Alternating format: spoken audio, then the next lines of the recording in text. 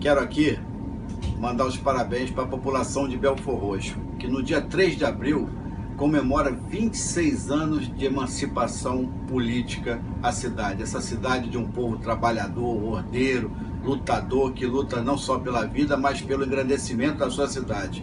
E aproveitar, já que eu sou líder da bancada do PDT, lembrar a todos os pedetistas, é, a população de Belfor Roxo, que foi através de uma emenda constitucional do líder do PDT naquela época que emancipou Belfor Roxo. Então, para nós pedetistas, é uma satisfação, o carinho que o Brizola tinha por Belfor Roxo, continuamos tendo e desejando, no dia 3 de abril, muitas felicidades a essa população de Belfor Roxo.